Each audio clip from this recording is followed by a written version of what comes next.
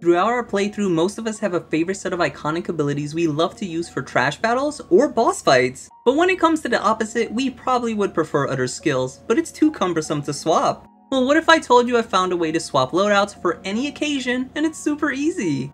In order to do so, you'll need three Eikons you're currently not using. Change to them and then put the Eikonic abilities you want. Once you have done so, continue playing until you need the other set. All you have to do now is change the Eikons and you'll notice they still have the same Eikonic abilities you previously had assigned to them.